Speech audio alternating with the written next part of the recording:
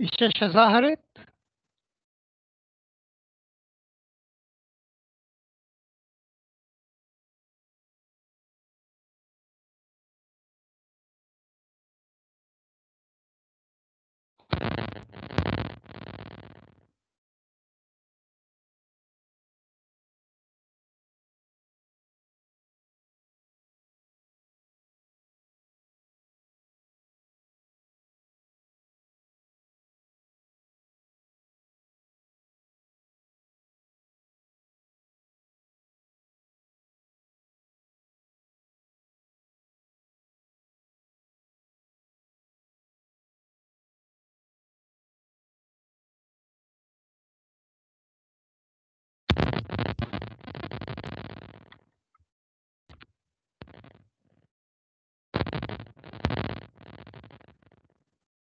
يا ترى الشاشة ظهرت؟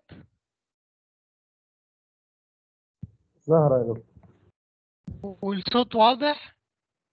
واضح. طيب. نبدأ إن شاء الله ال- الجزء الثاني من محاضرة التورشن. ال- شرحنا في الجزء الأول الخ- الخطوات وإزاي بنحسب حديد الكنات في ال shear. وحديد الكنات في ال torsion والحديد المساعد اللي هو الحديد الطولي اللي موجود في ال torsion وكان في ثلاث حالات رئيسية اللي ممكن يتولد منها ال torsion اللي هو slab على كمرة من ناحية واحدة أو two slabs من ناحيتين cantilever بس مع اختلاف قيمة البندنج مومنت اللي بينهم أو الكاميرا الدائرية. فنشوف مثال بالأرقام على النقط اللي إحنا عملناها ونراجع عليها بالترتيب واحدة واحدة وهنلاقيها سهلة إن شاء الله وهتبقى مسألة واضحة بالنسبة لنا. فإحنا المثال رقم واحد هنفترض الحالة الأولى اللي في سلاب موجودة على كمرة وال slab دي ملهاش امتداد من الناحية التانية. يعني معنى كده إن ال moment بتاعها اللي هو WL تربيع على 2 هيعمل على على طول محاولة التواء للكمرة أو محاولة torsion للكمرة وبالتالي نبقى عارفين إن الكمرة دي هيتولد عليها torsion moment. يعني الأحمال اللي هتكون عليها هيكون عندنا torsion وهيكون عندنا shear وهيكون عندنا moment.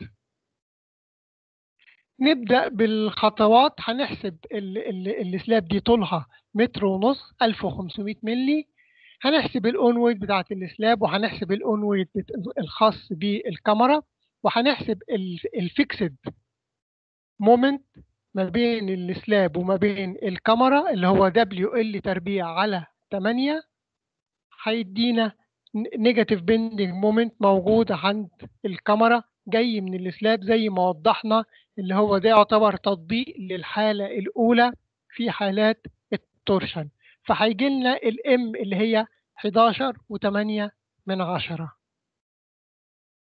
الشكل اللي بعد كده هيبقى عندنا ال- ال- الكاميرا عليها أحمال نتيجة الحمل اللي على ال slab ونتيجة ال own weight وعليها نقدر نحسب ال bending moment اللي جاي على الكمرة WL تربيع على 8 زي ما اتعودنا على الكاميرات السمبل بيم بالنسبة لل shear force diagram ال Q أو ال shear maximum عند ال support هيكون WL على 2 ده من الأحمال العادية أو الأوزان اللي جاية على الكمرة.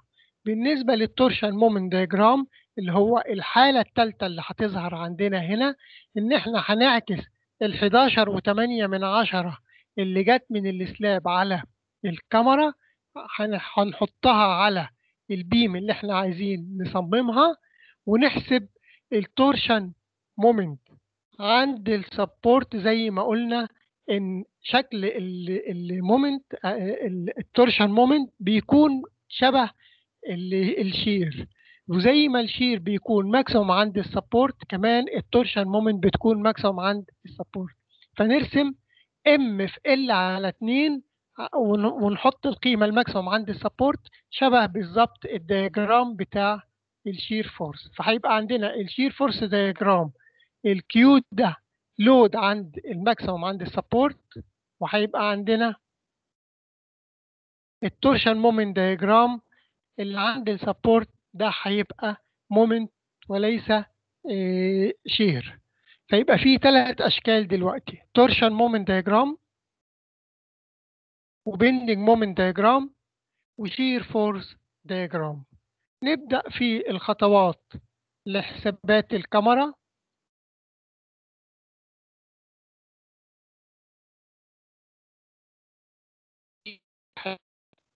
نحط ال moment تحت الجذر ونضرب في ال b في ال fcu وفي الخطوات التصميم التقليدية اللي كلكم عارفينها وبمعلومية ال C واحد بنجيب ال J وبنحسب الحديد اللي المفروض يكون موجود في الكمرة. وكده يبقى إحنا حسبنا ال ال ال ال دي الارتفاع بتاع الكمرة. دي خطوة واضحة هي التصميم دي كلنا عارفينها ما فيهاش مشكلة. طيب نبدأ نعمل design for shear و torsion هي دي النقطة المهمة اللي نبتدي من عندها. إحنا بنعمل دايما حسابات ال shear مع حسابات ال torsion لأن هما الاثنين نوعية واحدة من ال stresses وهما الاثنين بيتحسب لهم كانات فهنحسب ال q small بتاعة ال shear اللي هي ال Q capital على ال b في ال d هيدينا stress يبقى ده كده إجهاد ال shear بالنسبة لنا. كويس وبعدين هنحسب ال ال ال البيانات اللي هي ال area o h وال area o وال Ph وال te علشان نحسب منهم stress ال shear اللي هو ال qtu small يساوي ال M torsion على الاثنين A nought في ال t e يبقى كده. الأولى هتطلع 46 من 100 إجهاد ال torsion أو stress ال torsion. ال q small هتكون 2 و2 من 100 كده عندنا قيمتين جاهزين. نرجع بسرعة كده لأن إحنا بنعمل تطبيق مباشر على النقط اللي إحنا درسناها. آدي الحساب بتاعت معادلة ال torsion. qt ال small بتساوي ال moment على 2 A nought في te ووضحنا الحاجات دي وقلنا تعريف ال A nought إن هي 85% من الاو الاي أو اتش وقلنا الاي أو اتش اللي هي المساحة الداخلية بتاعة الكانة وعرفنا ال factor Ph اللي هو الطول مساحة طول محيط الكانة زي ما الشكل كده المساحة الداخلية المتهشرة. وأما البي اتش فهي طول محيط الكانة يعني ال ال الارتفاع الرأسي يمين وشمال للكانة والمسافة الأفقية وال top و bottom إلى الكانة. مجموع الأطوال دي هو ده محيط الكانة.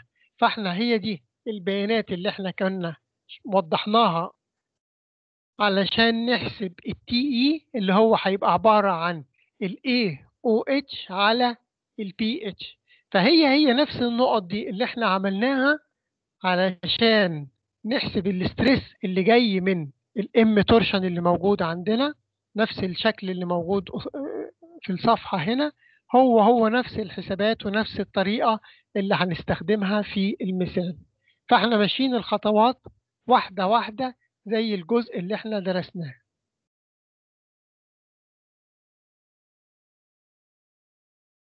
حسبنا ال q اللي تخص ال shear Q capital على b في d وحسبنا ال q اللي تخص ال torsion ال M torsion على 2 A nought في te يبقى كده عندنا قيمتين لل stress جاهزين معانا في الحساب. stress الخرسانة اللي يشيل ال ال ال shear و stress الخرسانة اللي بيشيل. يعني تقدر تقاوم بدون كانات وإجهاد الخرسانة اللي تقدر تقاوم stress ال torsion بدون كانات فهيبقى عندنا قيمة qcu و q torsion minimum الأولاني جذر ال fcu على gamma c والتانية اللي هي 6 من 100 تحت الجذر ال fcu على gamma c هتطلع الأولى اللي هو ال stress اللي يخص ال shear والتانية اللي يخص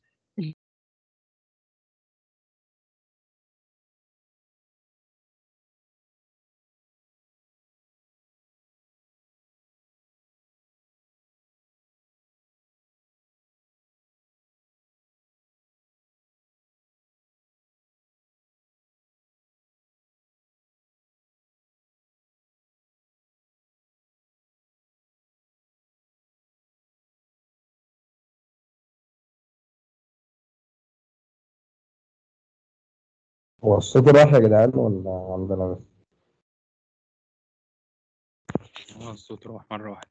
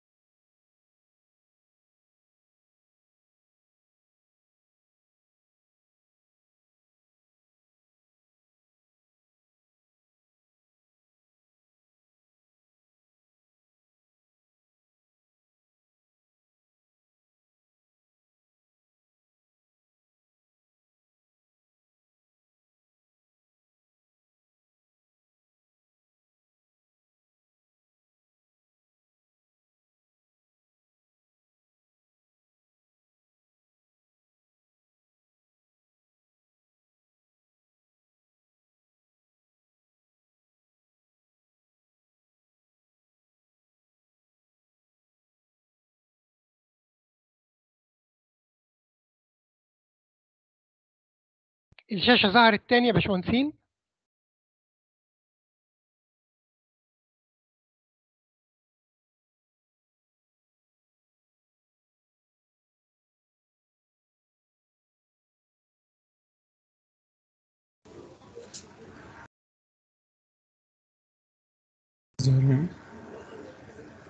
ال ال ال ال الخط قطع ورجع الشاشة ظهرت.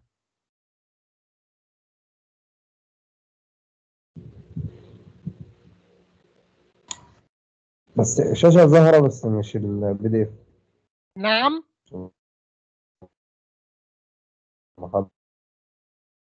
الشاشة ظهرت؟ الشاشة ظاهرة بس مش الشاشة بتاعت الناس الحضور يعني. بس إيه مش سامع؟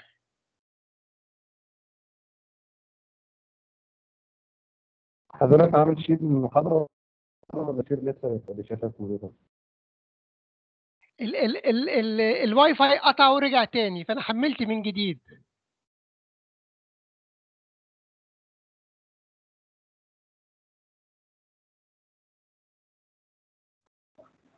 المحاضرة مش مش مفتوحة يا دكتور. ده ال point. نعم ال ال المحاضرة مش مفتوحة؟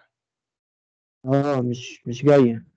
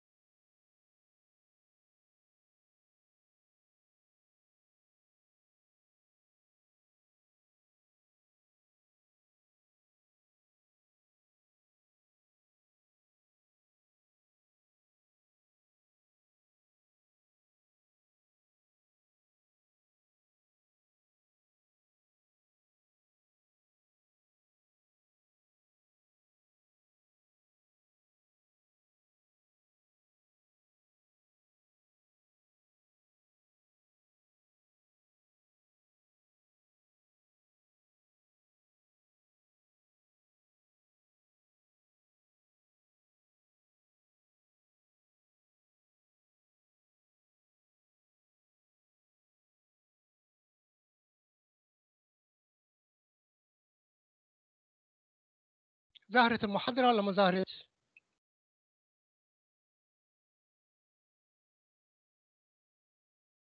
لا يا دكتور لسه لسه ما ظهرتش؟ لا لسه يا دكتور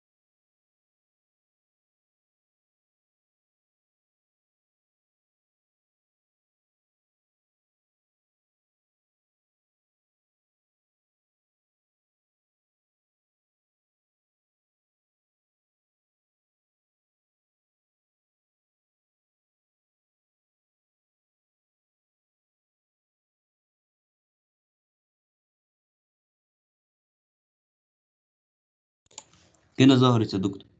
ظهرت؟ طيب. مشكلة النت دي مش كويسة.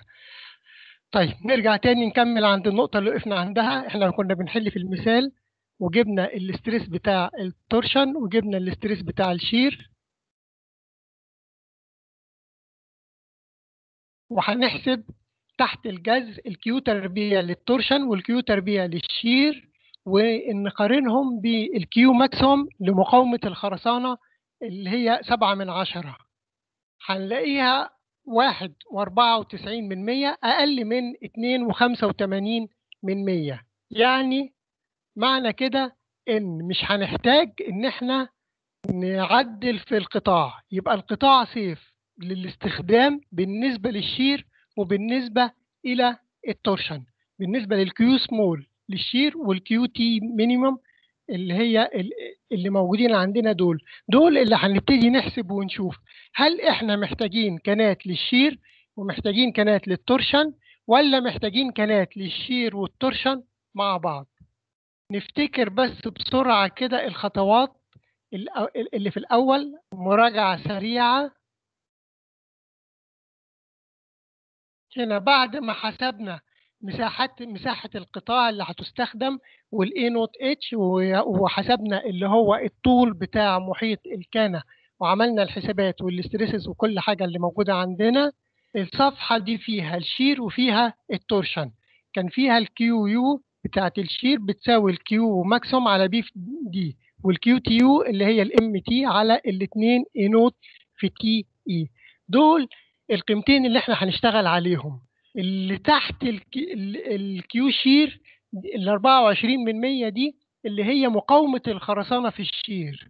فهنقارن القيمة ال q u بال q cu ونشوف مين فيهم أكبر وهل إحنا محتاجين كانات في ال shear ولا مش محتاجين كانات.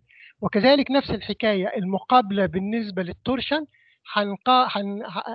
هنعمل مقارنة ما بين ال q tu وال q t minimum بعد ما اتأكدنا ان إحنا مش هنغير القطاع والاثنين stress safe بالنسبة لل dimensions بتاعة القطاع اللي موجودة عندنا.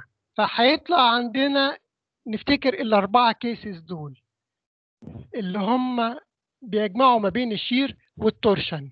لو كانت ال stress بتاع ال shear أقل من مقاومة الخرسانة وال stress بتاع ال torsion ال q tu أقل من ال minimum بتاع الخرسانة فمش هنحتاج أي حساب للكنات وهيطلع الاثنين بالنسبة لنا 5 phi 8 ويبقى خلص الحل على كده. لو ال q بتاعت ال shear أكبر من المسموح به في الخرسانة وال q بتاعت ال torsion كانت أقل في الحالة دي هن- هنستخدم معادلة الحديد بتاعت أو الكنات بتاعت ال shear بس. لو ال q بتاعت ال shear هي اللي كانت safe وال q بتاعت ال torsion كانت أكبر من ال q t minimum يبقى في الحالة دي هنعمل design للكنات بتاعت ال torsion بس. لو stress ال shear أكبر من ال minimum بتاع الخرسانة و stress ال torsion q tu أكبر من ال q t minimum بتاعة الخرسانة في ال torsion هنستعمل كنات علشان ال shear وال torsion مع بعض.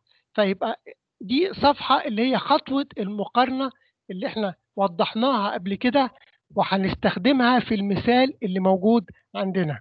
فنرجع نتنقل للمثال اللي موجود عندنا علشان نبدأ نحسب في الكانات سواء كانت كانات تخص AS long وكانات تخص ال torsion أو معادلة اللي هي تخص ال shear اللي هي ال N في ال AST في ال FY على gamma S في ال BS فنروح للمثال ونشوف إيه اللي هيظهر عندنا وهنعمل ال application دي اللي موجودة إزاي.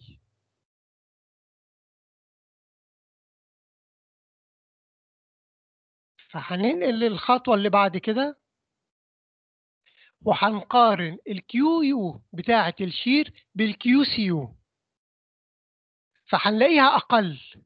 ال q tu بتاعة ال torsion اللي جات لنا في المسألة أكبر من ال q t minimum بتاعة مقاومة الخرسانة في ال torsion.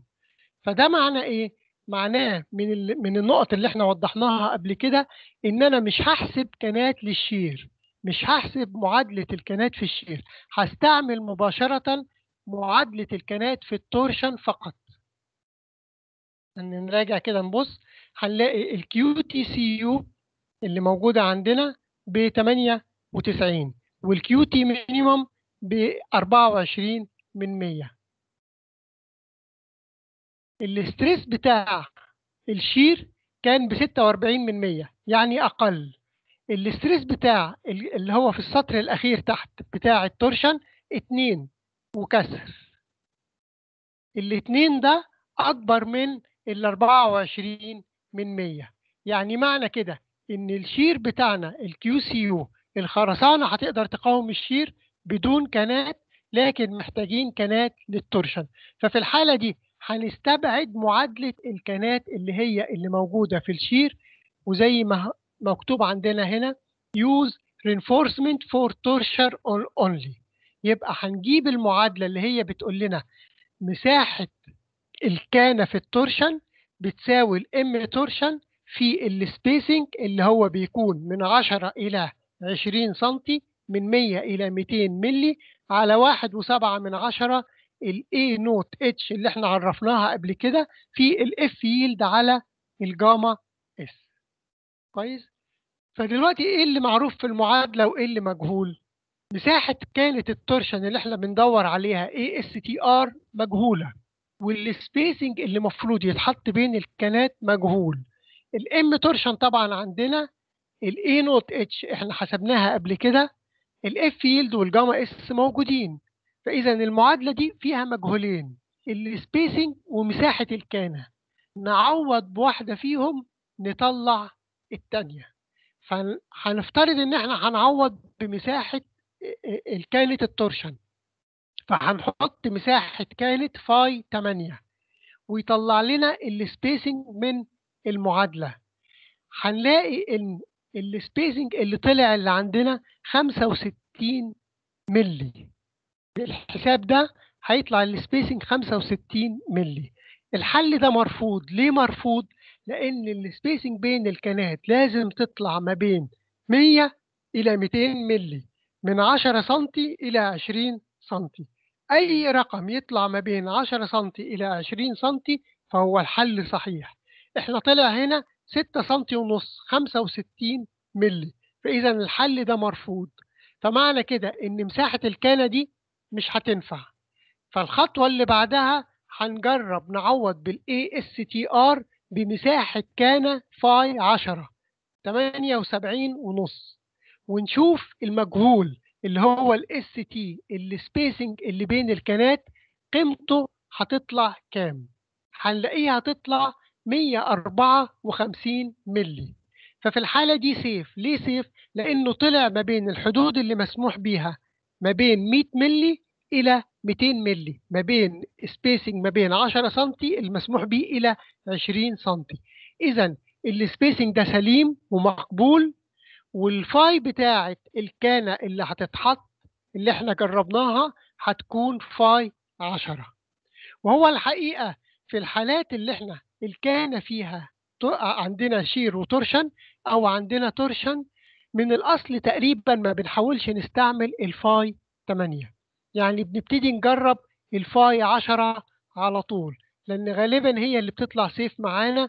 يعني وممكن كمان نستعمل phi 12 يعني ممكن ال ASTR اللي هي مساحة الكانه المستخدمة تكون phi 10 في ال torsion 78 ونص أو ممكن تكون مساحة phi 12 فهنا جربنا مساحة phi 8 ولقيناها إن هي مش هتطلع safe ومش هتدينا المطلوب. مش مفروض إن أنا أجرب phi 8 في حالات ال torsion إحنا ممكن نبتدي بكانة phi 10 على طول أو كانة phi 12 على طول اللي هي ال ASTR ومنها نحسب ال spacing فزي ما طلع عندنا ال spacing دلوقتي هيكون 154 ملي يعني هيكون حوالي سبع كانات في المتر وبالتالي هيبقى عندنا الحل بتاع ال stirrups سبعة phi عشرة على المتر. العدد سبعة والمساحة بتاعت قطر الكانة phi عشرة. إذا الكانات المستخدمة لمقاومة ال torsion في هذه المسألة سبعة phi عشرة على المتر.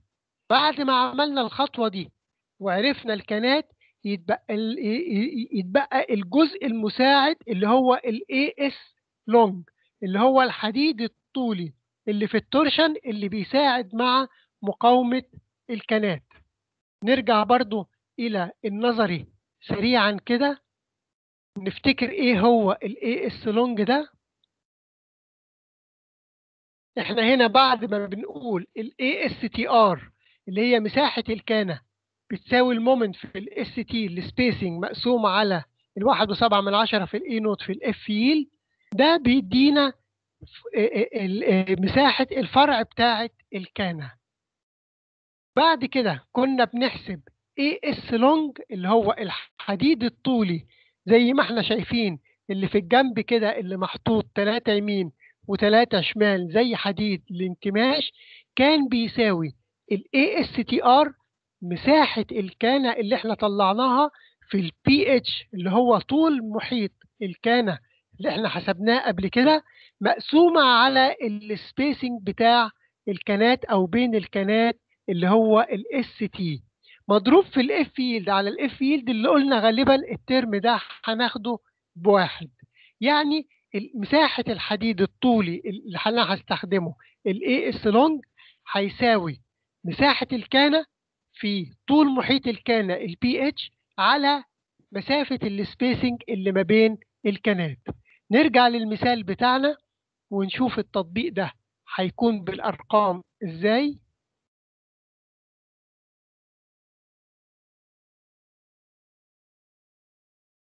آدي اللي إحنا توصلنا له use closed stirrups 7 phi 10 على المتر. دي الكانات. هناخد منها المعلومات ونطلع قيمة الحديد الطولي ال AS long اللي هيبقى موجود عندنا. هنحسب ممكن دلوقتي العدد سبعة إحنا عملنا عملية تقريب فممكن نحسب بالظبط ال spacing الحقيقي اللي هيستخدم نقسم المتر الطولي اللي هو الألف ملي على العدد سبعة يطلع لنا بالظبط المسافة اللي هتستخدم 142 دي اللي هتكون فعلا في الكمرة لما هحط سبعة phi عشرة على المتر. يبقى هحسب دلوقتي من المعادلة ال AS لونج الحديد الطولي هيساوي ASTR في ال PH على ال ST في ال term الثاني اللي هو 360 على 360 ال yield ده اللي هو هنعتبره بواحد. فهنضرب 78 ونص اللي هو مساحة ال ASTR في ال PH اللي هو طول محيط الكانة 1900 ونقسم على السبيسنج الحقيقي اللي إحنا ظبطناه عندنا اللي هو 7 في المتر اللي هو 142 يطلع لنا المساحة 1044 ملم مربع. يبقى ده الحديد الطولي المساعد اللي هيتحط علشان يكمل مقاومة التورشن اللي موجودة عندنا. نقدر نختار من ال 1044 دي عدد من الجدول عدد الأسياخ يكون كام وقطر الأسياخ اللي مستخدمة تكون كام. زي ما إحنا شايفين هنا ده ال- الشكل بتاع القطاع بتاع الكاميرا اللي يهمنا فيه دلوقتي حاجتين. حديد الكانة اللي هيستعمل اللي هو 7 phi 10 على المتر. ده حديد الكانات بتاعة ال torsion أما الحديد الجانبي اللي هو ثلاث أسياخ في اليمين وثلاث أسياخ في الشمال اللي هم محطوطين زي حديد الانكماش كده دول هن هن- هيكونوا توزيع ال AS لونج اللي إحنا حسبناها اللي هو الحديد المقاوم في ال torsion. وزي ما أنتم شايفين كده بيتحط زي حديد الانكماش بالظبط على اليمين وعلى الشمال بتتحط الأسياخ فوق بعضها كده اللي هي 2 12 2 12 2 12 برضو قبل ما أخلص النقطة دي لأن إحنا كده خلصنا المثال وما حسبناش كانات لل shear لأنها كانت safe أقل من ال minimum حسبنا كانات لل torsion وحسبنا AS long إلى ال torsion. فكده ال- ال- المطلوب مننا في الكمرة أو في الحل اتعمل قبل ما نعمل مثال اتنين هرجع سريعا كده برضو إلى الجزء النظري. وأوضح نقطة هنا. الكود بيقول إن الحديد الطولي اللي إحنا حصلنا عليه ده اللي موجود عندنا نحط ربع القيمة فوق وربع القيمة بتاعته تحت وربع القيمة على الجنب اليمين وربع القيمة على الجنب الشمال. يعني نقسم عدد الأسياخ اللي موجودة عندنا اللي طلعت عندنا من المساحة ال AS long اللي إحنا اخترناها نحط جزء منها فوق ونحط جزء منها تحت وجزء على اليمين وجزء على الشمال مكان حديد الانكماش. يعني الحقيقة إحنا ممكن ما نعملش كده لأن إحنا تحت في الكاميرا تحت أصلا بيبقى فيه حديد. اللي هو الحديد الأصلي بتاع الكاميرا اللي إحنا صممناه. في التوب بتاع الكاميرا في حديد التعليق أو في الحديد ال AS dash يعني تحت أصلا في حديد وفوق كمان في حديد. اللي بيبقى فاضي من الكمرة هو الجنب اليمين والجنب الشمال. فإحنا ممكن يعني نتغاضى عن الجزء ده وال AS long بتاعة ال torsion اللي بتطلع عندنا على طول نوزعها على الجنب اليمين ونوزعها على الجنب الشمال. مش لازم نقسمها على أربعة ونعمل التفصيلة دي. يعني لو رجعنا للمثال اللي موجود عندنا يبقى الحديد الجانبي ده هو اللي يكون بتاع ال torsion. وإحنا أصلا عندنا لما صممنا الكمرة على ال moment كان عندنا حديد كويس موجود تحت. وكان عندنا حديد موجود فوق اللي هو ال AS dash أو حديد التعليق ال stirrup hanger وبالتالي تحت في حديد وفوق في حديد. فناخد ال AS long ونوزعها على الجنب اليمين ونوزعها على الجنب الشمال. يبقى كده الحساب أسهل وأسرع ونحطها بشكل حديد الانكماش. نيجي ناخد مثال تاني. عندنا كمرة عليها أحمال الطول بتاعها سبعة متر وعليها M torsion متوزع على الطول السبعة متر. وبرضو مفروض اننا نعمل نفس الحسابات ونجيب الكانات اللي تخص ال shear والكانات اللي تخص ال torsion. وكمان آه، نعمل تصميم لل section على ال bending moment. هناخد الأحمال اللي هي ال 55 ونحسب منها ال bending moment اللي على الكمرة. ونحسب منها ال shear force اللي على الكمرة ال Q capital. وناخد ال moment اللي هو موزع على السبعة متر ونحسب منه ال M torsion عند ال support بنفس الشكل بتاع ال shear diagram زي ما وضحنا قبل كده. فالخطوة الأولانية هنحسب أهو ال bending moment هيطلع 336 يبقى ده كده ال bending moment diagram هنحسب تحتها ال shear force diagram 192 اللي هو ال Q capital maximum عند ال support. هنحسب ال M torsion. هيطلع 42 اللي هو torsion moment diagram اللي هو هو نفس الشكل بتاع ال shear force diagram وبرده ال 42 دي اللي هي ال M torsion ال maximum عند ال support.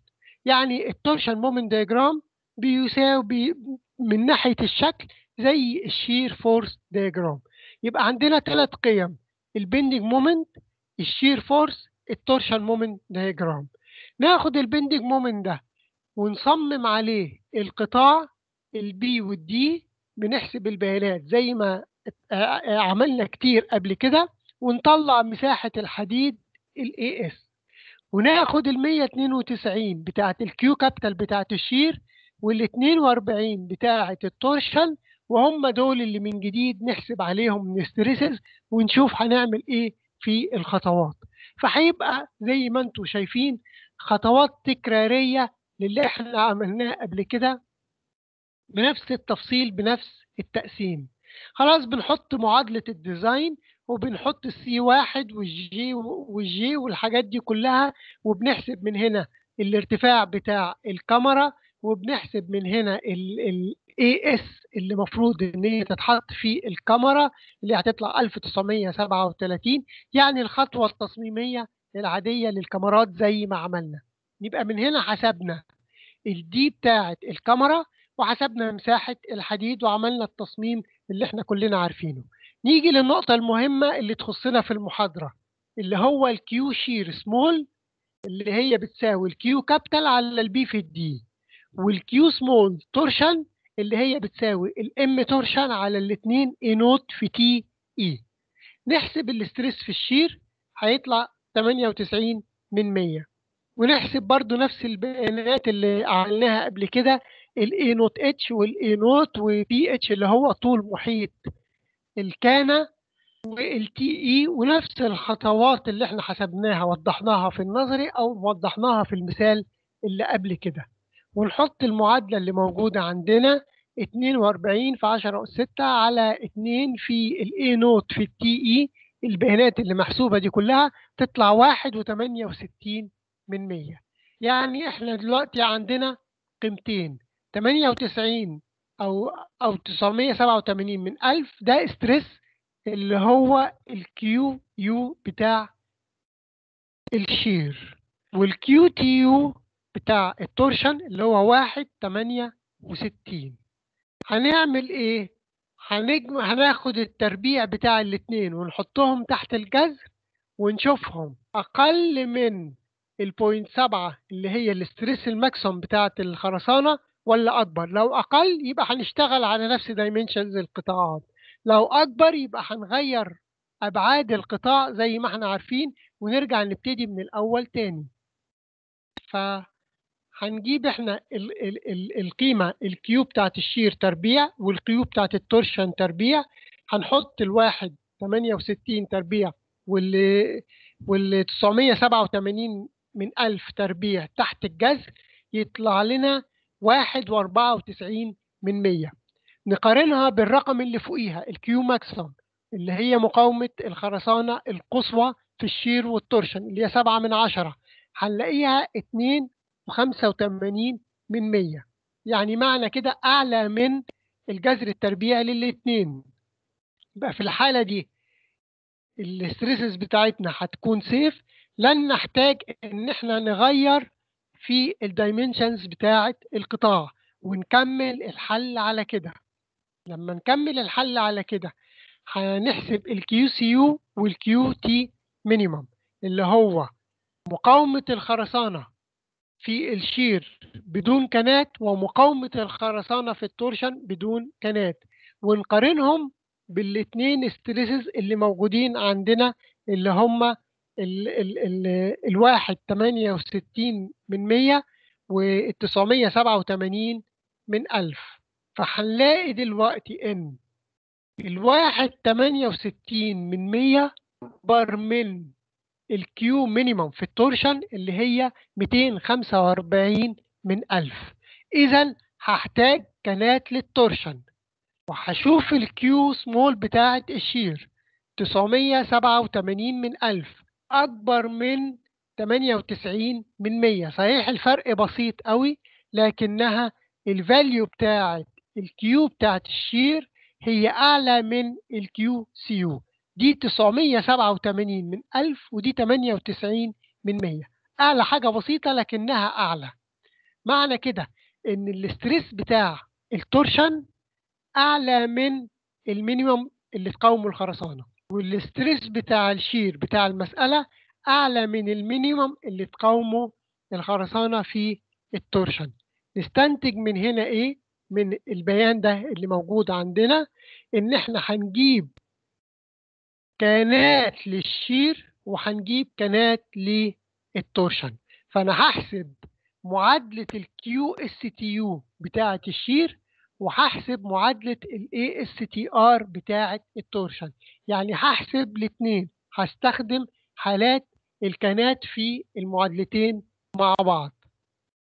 فهنحسب المعادلة الأولى الكانات بتاعة ال shear المعادلة بتقول N في ال AST اللي هي مساحة مقطع الكانة في ال shear في ال F yield على ال gamma S مضروبة تحت بنقسمها على ال B عرض الكمرة في ال spacing مساحة الكانة بتاعة ال torsion لسه عملناها في المثال ال- السابق قبل كده.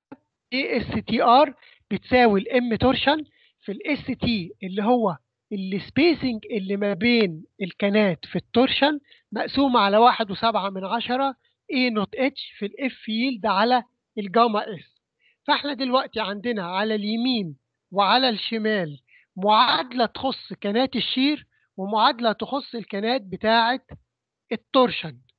كويس.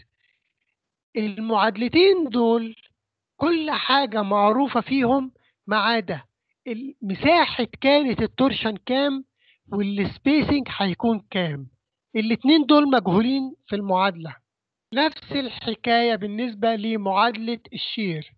ال ASTR أو ال AST اللي هي بتاعة ال shear مساحة مقطع الكانة في ال shear مجهول وال S اللي بقسم عليها اللي هي ال B في S دي ال B طبعا عرض الكمرة معروف ال S هي اللي مجهولة. يعني عندي معادلتين واحدة تخص ال shear وواحدة تخص ال torsion. اللي تخص ال shear فيها مجهولين مساحة مقطع الكانة هيكون كام؟ وال spacing هيكون كام؟ والمعادلة التانية اللي هي تخص ال torsion برضو فيها مجهولين. مساحة مقطع الكانة في ال torsion هتكون كام؟ وال spacing بين الكانات ال ST هيكون كام؟ يبقى دي النقطة الأولى. النقطة التانية مش هينفع أطلع spacing يخص ال torsion مختلف عن ال spacing يخص ال shear. أو مساحة كانة في ال shear غير مساحة الكانة اللي موجودة في ال torsion. يعني مش هقدر أستعمل مساحة كانات لل shear غير مساحة الكانات لل torsion. ومسافات أحطها لكانات ال shear غير مسافات كانات ال torsion. هحط الكلام ده جوه الكمرة إزاي؟ مش هينفع. فاللي بيحصل إن إحنا لما بنكون عايزين نحسب لل shear وال torsion الاتنين مع بعض بنعمل عملية دمج ونطلع ال total spacing كام وال total area بتاعة الكانات في ال shear وال torsion مع بعض بتكون كام. وال... والرقم اللي إحنا نحطه ده هيمثل دمج ال shear وال torsion مع بعض ككنات. يعني الكانات الأخيرة اللي هتتحط في الكمرة هي عبارة عن دمج ما بين ال shear وال torsion مع بعض. يعني لما هنحطها ونصممها في الآخر في الكمرة فهي هتعبر عن ال shear وال torsion مع بعض أو هتقاوم ال shear وال torsion مع بعض. هنشوف الكلام ده هيتعمل إزاي. هنطلع من الجزء الأولاني هنا هنصفي المعادلة ونقول إن مساحة الكانة في ال shear ال AST بتساوي 35 من 100 في ال S اللي هو ال spacing ما بين كانات ال shear. ده الاثنين المجهولين بالنسبة لمعادلات ال shear الجزء الأول. نيجي للجزء الثاني اللي هو يخص ال torsion. هعوض بالمعلومات اللي أنا عارفها. هيتفضل ال ASTR مساحة مقطع الكانة في ال torsion مجهولة وال spacing ال ST في ال torsion مجهول. يعني هتتصفى المعادلة إلى إن ال ASTR بتساوي 72% في ال S. يبقى كده عندي معادلتين. واحدة تخص كانات ال shear وواحدة تخص كانات ال torsion. بنجمعهم جمع جبري على بعض. يعني إيه؟ يعني هنجمع ال 72 من 100 دي مع ال 35 من 100 يعني كده كأني بجمع معادلة كانات ال shear على معادلة كانات ال torsion. فهجمع ال AST مع ال ASTR هتساوي رقم في ال spacing فهتبقى ال AS total ده عبارة عن مجموع ال 35 من 100 في ال S اللي تخص ال shear زائد ال 72 من 100 في ال S اللي تخص ال torsion. فيطلع لي مجموع كانات ال shear وال torsion مع بعض بتساوي واحد وسبعة وسبعين من مية من الألف مضروبة في ال spacing. فكده بنعمل عملية توحيد ما بين كانات ال shear وكانات ال torsion ال AS total دي هتعبر عن ال shear وال torsion مع بعض. إذا لما أنا أعوض بقيمة هنا سواء كانت phi 8 مساحة phi 8 أو مساحة phi 10 أو مساحة phi 12 بال AS total وأطلع ال spacing المقابل المسافة اللي بين الكانات المقابل في الحالة دي الحل ده هيبقى ال total يعني المجموع الجبري اللي اللي يعبر عن ال shear ويعبر عن ال torsion مع بعض وهو ده الحل اللي إحنا عايزين نوصل له. فهنعمل زي ما عملنا في ال ال ال المثال السابق إن إحنا هنستعمل phi 8 اللي هي ال AS total ك phi 8 ونطلع منها ال spacing اللي هيطلع كام؟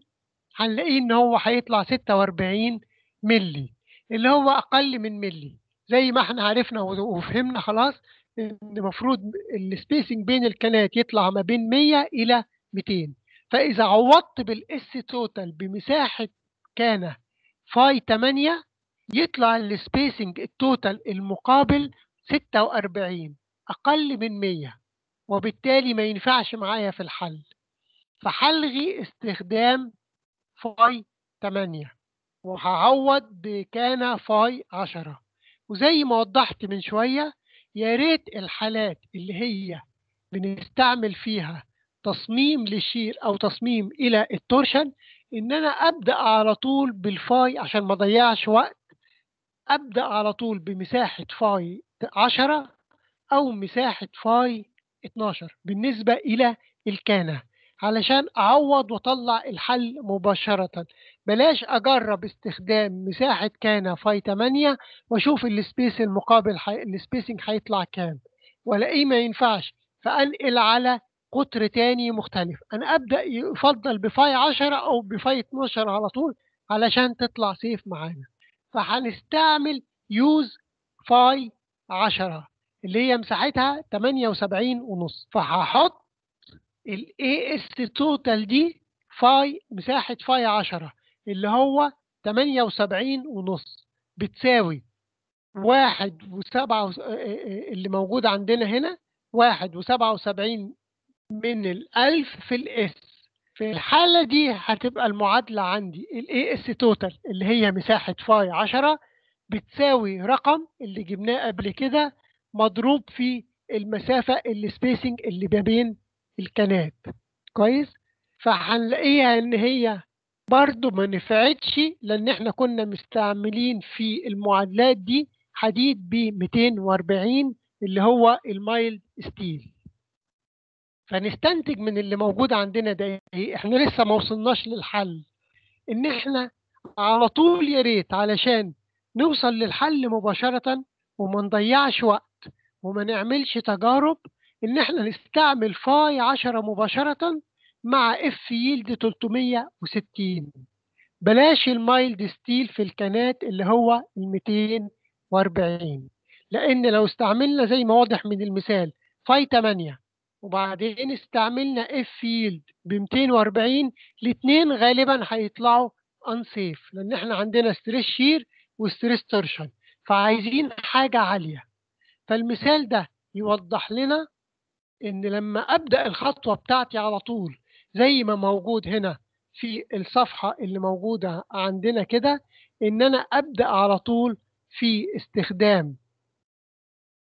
ال ال ال ال ال الحديد phi 10 أو phi 12 بالنسبة لمساحة الكنات وبالنسبة لل stress بتاع الحديد أخده اللي هو ال high tensile ال 360 على طول. وبرده أعوض في معادلة كانات ال shear على اليمين ومعادلة كانات ال shear على ال torsion على الشمال اللي هي ال A S T R فهيطلع لي من هنا. S T اللي هو مساحة مقطع الكانه في ال shear بتساوي 23 من 100 في ال S T R هتساوي 48 من 100 في ال S ده لما استعملنا في المعادلات اللي هو ال high tensile steel ال 360 فهتطلع عندي معادلة A S total بتساوي 716 من الألف في ال spacing هعوض بواحدة واطلع التانية. فهعوض بال A S total هاخد على طول phi 10 مش هجرب phi 8 فدايما عندنا نستعمل phi 10 هي اللي نعوض بيها و high tensile steel اللي هو 360 اللي نعوض بيه علشان نوصل للحل مباشرة ما نقعدش نعمل تجارب. فعندي هنا A S total هتساوي 716 من الألف في ال spacing أعوض بال A S total ب 78 ونص اللي هو مساحة phi 10 هيطلع من هنا حساب ال spacing المسافة اللي ما بين الكنات 109 اللي هي أكبر من 100 اللي هو رقم يتراوح ما بين 100 إلى 200 ملي من 10 إلى 20 سنتي. فمعنى كده إن الحل ده كويس عندنا. إذا ال spacing ما بين الكنات 109 وال phi اللي مستخدمة للكنات phi 10 والاثنين مدمجين مع بعضهم A S total اللي هو بيعبر عن ال shear وبيعبر عن ال torsion مع بعض. فمن هنا الإجمالي اللي هيطلع عندنا take 10 phi 10 على المتر closed stirrups يعني الحل بتاعنا إن 10 phi 10 قطر phi 10 بالنسبة للكانة وال spacing بتاعنا هناخده 100 ما بين الكانات يبقى التقريب بتاعنا هنا 10 phi 10 على المتر. ده عبارة عن محصلة الكنات اللي هتقاوم ال shear وهتقاوم ال torsion اللي موجودين مع بعض يبقى 10 phi 10 هو إجمالي الكنات اللي موجود عندنا ويبقى كده هو ده حل الكنات اللي إحنا بندور عليه. الرقم ده اللي بيعبر عن ال A S total اللي هو جمع حالة ال shear كانة ال shear مع كانة ال torsion باستخدام phi 10 فمعنى كده هو ده الحل اللي هيعبر عن ال shear وهيعبر عن ال torsion مباشرة. والمسافة ما بين الكنات من 100 إلى 200 إحنا لما هناخد 10 phi 10 على المتر هتبقى المسافة ما بين الكنات 100 في المتر. يبقى الحل ده سليم والحل ده مقبول وهو ده ال closed stirrups بتاعة ال shear وال torsion اللي هنستخدمها. يبقى ده الجزء الأولاني. إيه الجزء الثاني اللي متبقي؟ إن أنا أجيب ال A S long اللي يخص ال shear بس. فال A S long ده بيساوي ال A S T R في ال P H اللي هو طول محيط الكانة في ال F yield على ال F yield اللي هو ال term ال 360 على 360 اللي هناخده دايما بواحد مقسوم على ال S اللي ما بين الكانات. كويس؟ فدلوقتي ال 360 على 360 اللي هو إجهاد الحديد ده اللي بناخد ال term ده بواحد وبعدين ال P H طول محيط الكانة ب 1800 ال spacing ال ST موحدة لل shear وموحدة إلى ال torsion هيكون 100 اللي هو 100 ملي يعني المسافة اللي بين الكانات 10 سنتي ما بين كل كانة وكانة اللي بتعبر عن ال shear وال torsion بس في term واحد هنا ناخد بالنا منه في الحساب. المعادلة هنا بتقول لنا AS long الحديد الطولي في الكمرة اللي هيستخدم لل torsion بيساوي ASTR لل torsion وليس AS total يعني إيه معنى الكلام ده؟ يعني أنا عايز أعوض هنا ب term في المعادلة قيمته ASTR الجزء اللي خاص بال torsion لأن ده حديد ال AS long في ال torsion ملوش علاقة بال shear. طيب أجيب منين ال AST R دي؟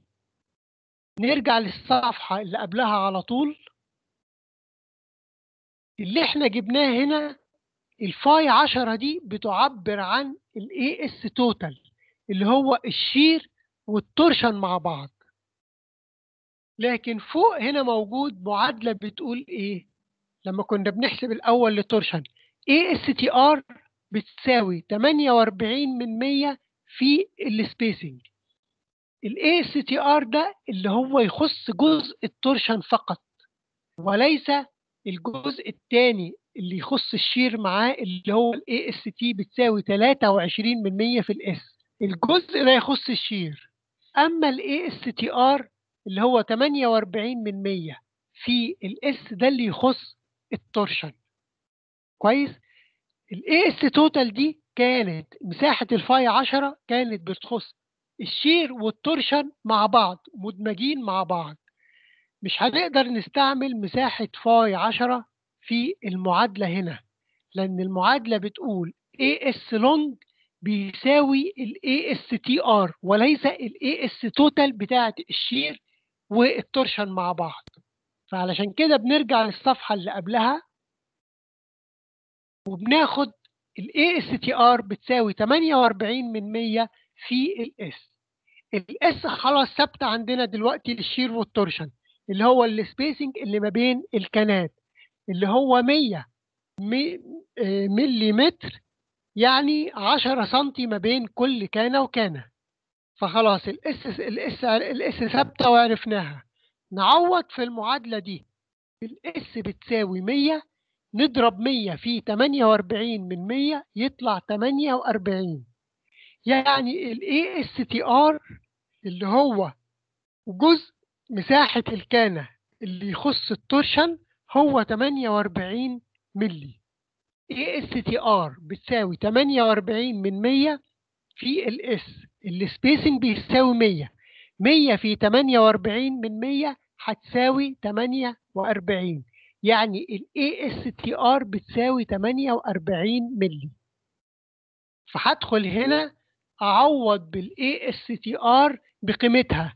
ال 48 ملي وليس ال 78 ونص اللي هي بمساحة phi 10 فالتعويض هيكون TR هيطلع لي من هنا مساحة ال AS long اللي هي 875 ملي متر مربع. لما نيجي نرسم قطاع الكمرة زي ما قلت بيبقى في حديد تحت أصلا موجود في التصميم. وفي حديد فوق أصلا اللي هو ال AS dash أو حديد التعليق اللي موجود عندنا. يعني الكمرة فيها حديد سفلي وفيها حديد علوي. يبقى الحديد ال long ده يفضل إن إحنا على طول للسهولة نوزعه على الأجناب زي حديد. الانكماش 2 phi 12 على اليمين و2 phi 12 على الشمال ويبقى الحديد اللي موجود جوه في الحالة دي هو حديد الطولي لمقاومة ال torsion وليس حديد انكماش. علشان كده عمق الكمرة 70 سنتي ومع ذلك استعملنا فيها حديد جانبي لأن ده مش حديد انكماش ده ال AS long بتاعه ال torsion. ومحسوب من قيمة كانات ال torsion وليس من قيمة كانات ال AS total اللي هي مجموع ال shear على ال torsion مع بعض. والكمرة فيها الحديد اللي صممناه في الأول اللي هو التسعة 18 والحديد اللي فوق اللي هو حديد التعليق الكود بيقول إن إحنا ممكن ال A s long بتاعت حديد الطولي اللي هو يخص ال torsion من الممكن إن أنا بوزعه على أربع أجزاء. جزء يتحط فوق وجزء يتحط تحت وجزء يتحط على يمين الكمرة وجزء يتحط على شمال الكمرة. ده اللي هو التطبيق اللي مباشر في الكود. لكن زي ما وضحت في المثال اللي موجود عندنا هنا إن إحنا بيبقى عندنا حديد أصلا سواء في المثال ده عندنا حديد تحت في الكاميرا وعندنا حديد تعليق أو حديد اي اس داش فوق. فنوزع الحديد على الجنا... الأجناب لأن هو ده الجزء اللي بيبقى فاضي من الكمرة. نفس الحكاية المثال الثاني الكمرة اللي صممناها كان فيها حديد تحت وكان فيها حديد تعليق أو حديد As dash فوق. وبالتالي الجزء اللي فاضي من الكمرة هو الأجناب. فهم دول اللي نحط فيهم الحديد ال As long بتاع ال torsion. يبقى اللي هنعمله أو اللي فهمناه واستنتجناه من الحل إن إحنا لما يبقى عندنا shear و torsion نستعمل phi 10 مباشرة على طول بال area اللي هي 78 ونص ملم مربع علشان ما نقعدش نجرب phi 8 ونستعمل F yield 360 اللي هو high tensile steel للكنات علشان ما نقعدش نجرب في ال F yield زي ما طلع عندنا ويطلع ال spacing أقل من 100 unsafe فاغير القطر الثاني بتاع الكانه بدل phi 8 وأخليه phi 10 عشان تطلع المسافات بين الكنات ما بين 100 إلى 200 فللسهولة ولسرعة الحل. ناخد إجهاد الحديد في الكنات 360 وناخد ال phi إما phi 10 اللي هي ال total في ال shear وال torsion أو phi 12 هي دي اللي نعوض بيها على طول. والحديد الطولي اللي يطلع في حالة ال torsion اللي إحنا صممناه ال As long بتاعنا ناخد مساحة الحديد دي ونقسمها على جنبين الكمرة الجنب اليمين والجنب الشمال على طول نوزع جزء يمين وجزء شمال لأن إحنا عندنا حديد موجود فعليا في ال bottom بتاع الكمرة. وفي ال top بتاع الكمرة اللي جبناه من ال design فيبقى بنسهل الخطوات ناخد الحديد 360 ناخد ال phi من الأول phi 10 أو phi 12 عشان ما نقعدش نعمل تجارب ونعمل trial وتطلع unsafe ونعدل في القيمة تاني. والحديد اللي يطلع نوزعه على الأجناب مباشرة اللي هو حديد ال As long نشوف العدد بتاع بتاعه اخترناه من الجدول كام؟ ونحط 2 phi 12 على اليمين ونحط 2 phi 12 على الشمال. في أي استفسار لغاية النقطة دي؟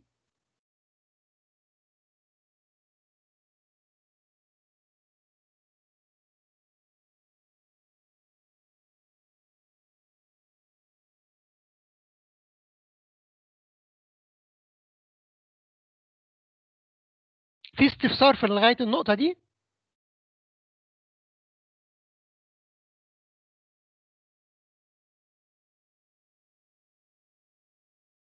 باشمهندسين. مع حضرتك. تمام نعم؟ تمام يا دكتور تمام. تمام. واضحة؟ طيب. إيه إيه دلوقتي هرجع سريعا كده أفكركم بحاجة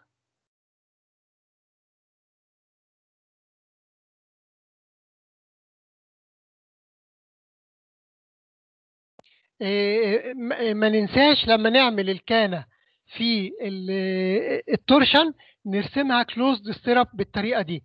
دي مهمة قوي في الجزء اللي يخص ال torsion زي ما موجود في الصفحة عندنا كده ومكتوب تحتها closed stirrup فيا ريت نطبقها بالطريقة دي. عايز أفكر بحاجة في المحاضرة.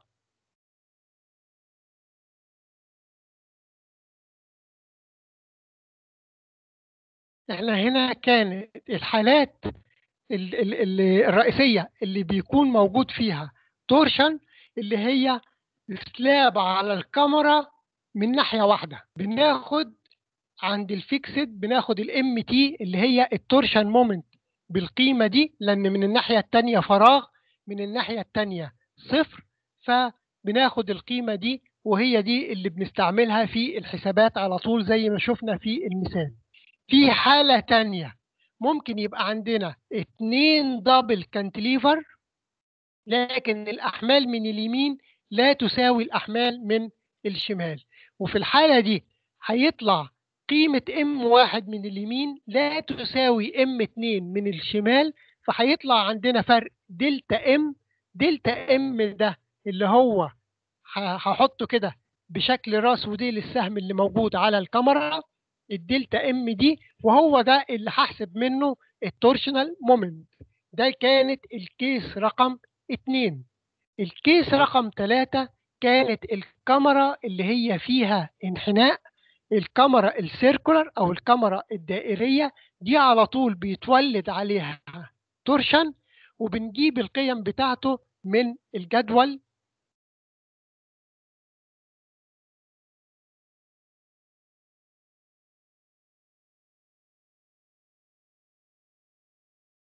زي ما هو موجود هنا اللي هو مكتوب في ال ال الكتاب ال handbook ال page 132 بتاع شاكر البحيري اللي هي بنطلع منها قيم ال ال shear كام وال torsion على الكمرة كام وال bending moment على الكاميرا كام لما بيكون عندنا كاميرا دائرية.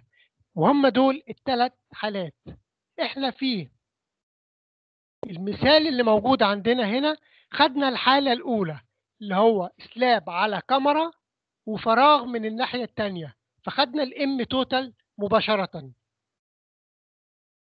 اللي هو ال 11 و86 من 100 دي اللي خدناها وحسبنا منها ال torsion على الكاميرا هيكون كام؟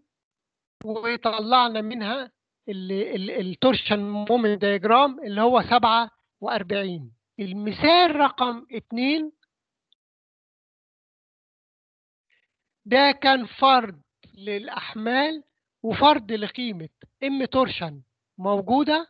ما حسبناهاش من حاجة فرض قدامنا في المسألة على الكاميرا الطول السبعة متر حطينا قيمة ال torsion وحطينا قيمة الأحمال. ومنهم ابتدينا نعمل الخطوات التصميمية اللي إحنا خلاص عرفناها دلوقتي وبقت سهلة بالنسبة لنا وحسبنا ال moment وحسبنا ال shear وحسبنا ال torsion moment diagram وكملنا الخطوات. ده كان المثال الأول وكان المثال رقم اتنين. مثال رقم ثلاثة اللي هو المثال رقم ثلاثة هيكون في اللي هو double cantilever ال slab من ناحيتين في slab من اليمين وفي slab من الشمال لكن الوزن اللي موجود على اليمين غير اللي موجود على الشمال. فهنحسب M واحد من اليمين ونحسب M اتنين من الشمال يطلعوا مش بيساووا بعض فيبقى في ما بينهم قيمة فرق delta M delta M ده هو اللي هيعمل torsional moment على الكاميرا. يبقى دي الحالة التانية اللي موجودة زي ما موجود في الشكل عندنا هنا. M واحد من اليمين M 2 من الشمال. في فرق delta M delta M دي هي اللي هناخدها ونبتدي نعمل بيها الحسابات بتاعة ال torsion اللي موجود عندنا.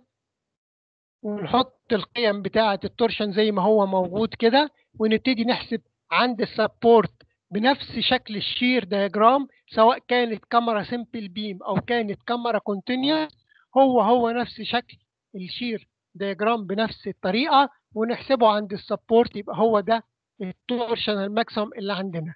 يبقى ده التطبيق الثاني اللي موجود عندنا. التطبيق الثالث في المثال رقم أربعة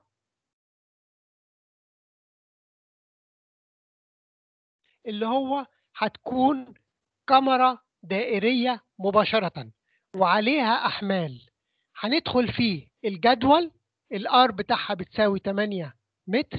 هندخل في الجدول وهنجيب منها قيم اللي هو الكيو التيميت في الشير والكيو التيميت في التورشن اللي موجودة عندنا ونعمل تصميم للكاميرا ونمشي بنفس الطريقة اللي موجودة عندنا اللي إحنا عملناها. مكتوب هنا from table هنجيب قيمة ال bending moment وهنجيب قيمة ال Q maximum هتكون كام؟ وهنجيب قيمة ال M torsion اللي هي السطر الأخير اللي تحت هتكون كام. ف from table هنقدر نجيب بيانات ال moment اللي هنصمم عليه وال shear اللي هنصمم عليه وال torsion ال moment اللي هنصمم عليه. اللي هو from table الجدول ده اللي انت تقدر تبقى ترجع له.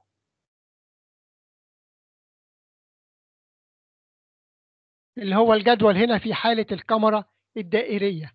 يبقى إحنا كده عندنا أربع أمثلة بنطبق عليها الحالات اللي يتولد فيها ام تورشن اللي إحنا وضحناها واللي إحنا درسناها خدنا بال- بالتفصيل وبالأرقام. المثال رقم واحد وخدنا المثال رقم اتنين. حاولوا تراجعوا أنتوا المثال رقم ثلاثة والمثال رقم أربعة. هتل- هتلاقوا إن إحنا بنفس الخطوات وبنفس حساب ال stresses وبنفس حساب معادلة الكنات بنمشي بنمشي بنمشي بنفس الطريقة بالظبط ويا ريت لو تاخدوا رأس المسألة وتعملوا أنتوا الحساب بتاع ال stress وتعملوا التصميم بتاع الكنات وتقارنوها بالقيمة اللي موجودة في المثال. تبقى الفايدة أكبر وكل طالب يشوف هل هو وصل فعلا للقيمة اللي موجودة عنده والحل موجود عنده يقدر يرجع له. فهو يقدر ياخد الأرقام الأولية اللي فيه المسألة ويبتدي هو يمشي بنفس الخطوات ويحسب ال stress ويعمل مقارنة في ال stresses وال check of stresses وبعدين يحسب بعد كده الكنات هتكون إزاي لل shear الكنات إزاي هتكون لل torsion إزاي هيحسب حديد ال As long ويقارن بالبيانات اللي موجودة في المثال ثلاثة وفي المثال أربعة. يبقى كده الفايدة تكون كويسة ويقدر يعرف إذا كان هو ماشي في الخطوات صح ولا لأ.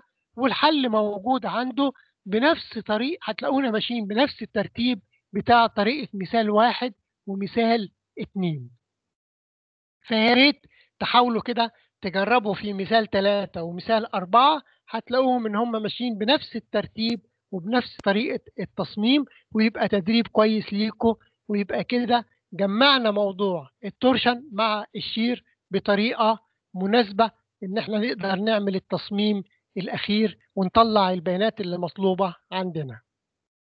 طيب. في أي استفسار بالنسبة للمحاضرة؟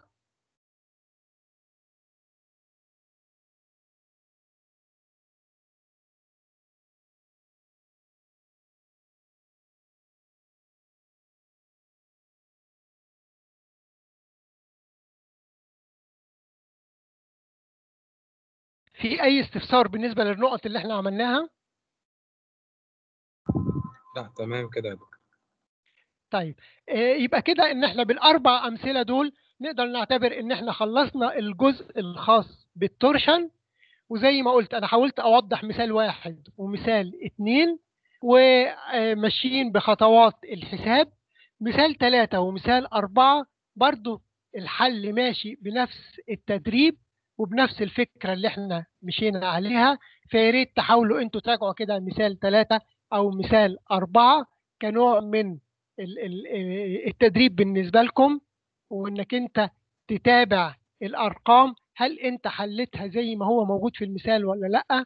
والبيانات كلها موجودة عندك والحل موجود عندك ترجع تقدر ترجع لأي نقطة في الحل اللي موجود عندك وبالتالي تبقى استوعبت الموضوع كله في قناة ال shear وقناة ال torsion ويبقى الموضوع بعد كده سهل بالنسبة لكم إن شاء الله. طيب. قبل ما ننهي المحاضرة في أي استفسار؟